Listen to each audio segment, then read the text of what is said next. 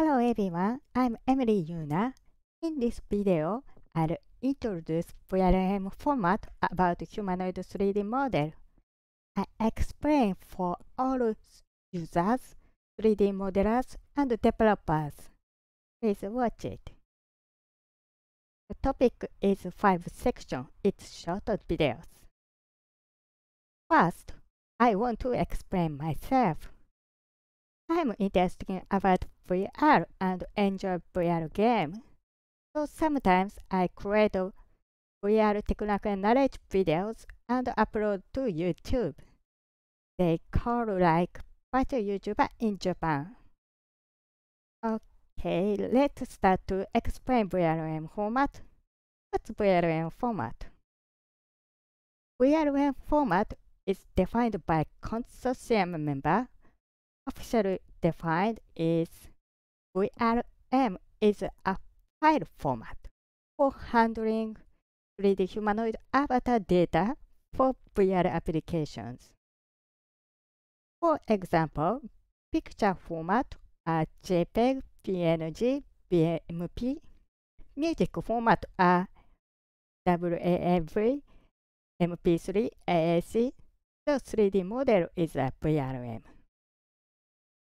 So VRM is file format. It's very easy. So next, we look by user viewpoint. I have a VRM format file. Open application support VRM formats. I can use um, VRM so under the application. It is very simple. This application is 3D rendering software, so we can look model. So wait a moment. I want to know that I want to do it. I use some applications about VR. Beat Saber, VR Chat, other anything. So you please imagine about VRM format does not exist. It, it is very simple. I want to use the same 3D model at any application. So you can see same look between left and right pictures. However, these files are not compatibility. Those are different files. One more point. Actually, my ear parts are different. Have you noticed it? I want to say, so I summarize. I need to set up 3D model for each applications.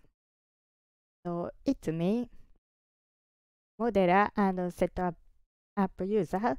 So I need to read the specification each application and modify 3D model for the each applications. For example, uh, if you change accessory and clothes, our model's format is updated each. Uh, change time, we see from application developer side, uh, create a specification about a 3D model and consider anything.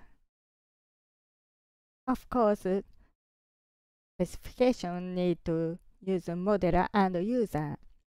However, it is not easy way. Okay, last slide. Conclusion. What benefit VRM format? User side. User can use many applications that support VRM format. Modeler can explain that customer can customer can use many applications.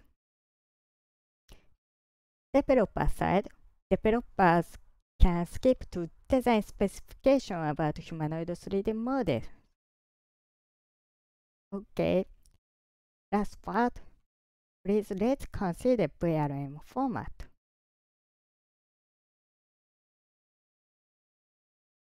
Thank you for watching. In my channel, usually I talk only Japanese. However, I create playlist about English caption.